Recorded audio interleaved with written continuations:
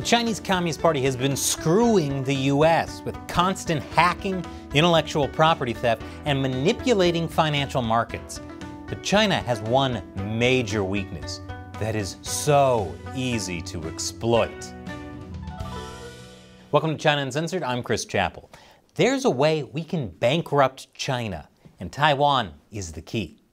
The Chinese Communist Party claims to be the one true legitimate government of mainland China and Taiwan. But that claim also opens up China to a devastating attack from the United States. A quick bit of history to set things up.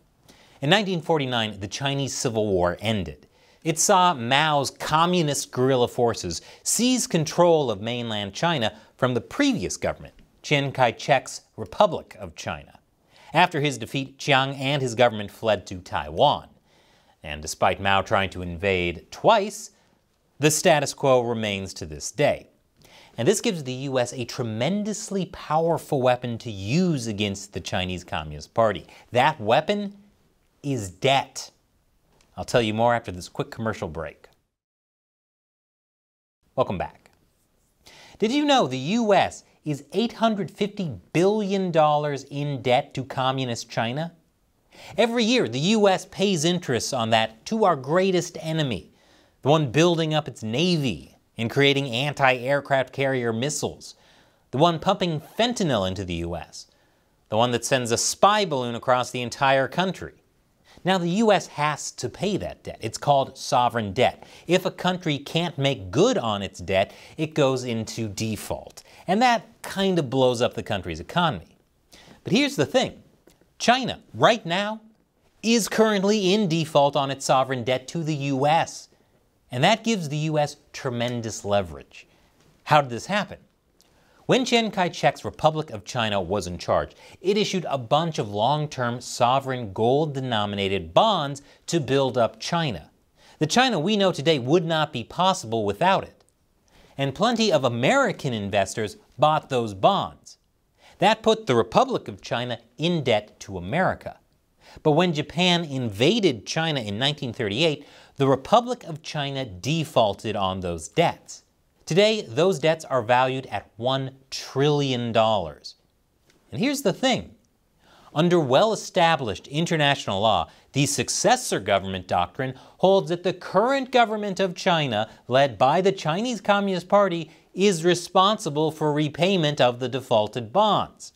In other words, the CCP owes America $1 trillion. The CCP is the legitimate government of China, right?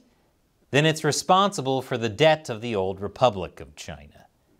This is well established. It doesn't matter how old those bonds are or that it's from a previous government of China.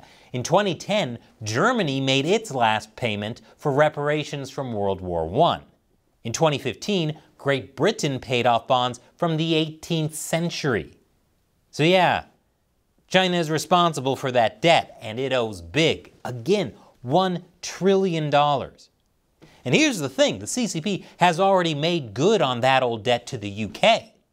When Prime Minister Margaret Thatcher was negotiating the handover of Hong Kong to China, she demanded that for that to go through and for China to have access to UK capital markets, the CCP had to honor those debts.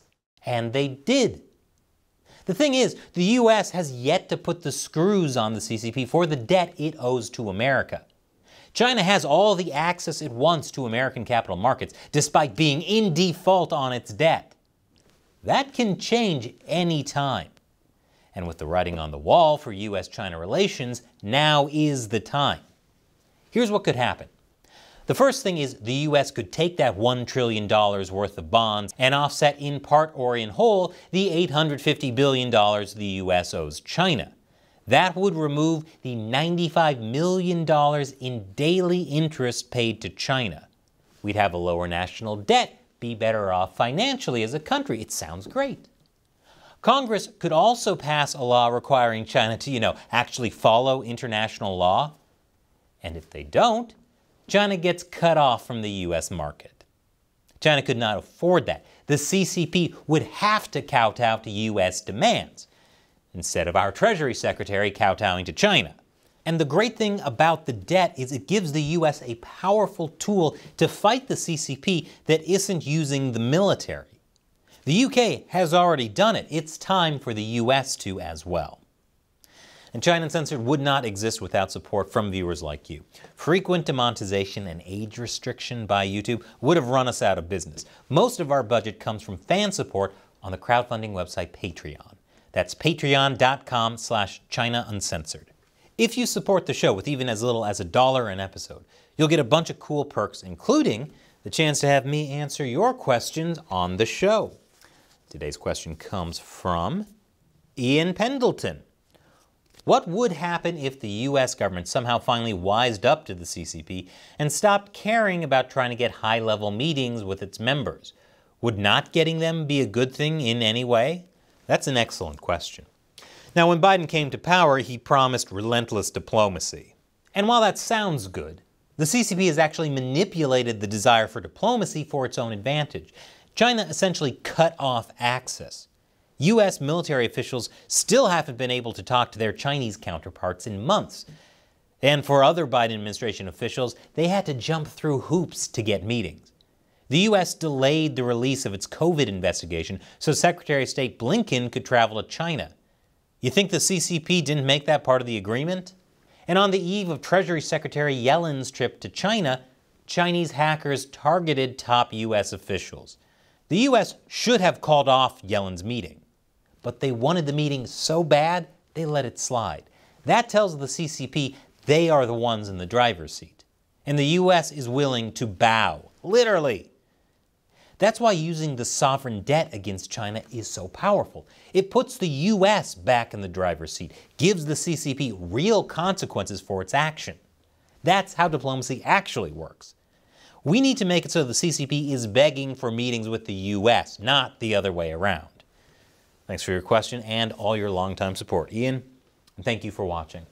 Check out patreon.com slash China Uncensored for how you can support the show. Once again, I'm Chris Chappell. See you next time.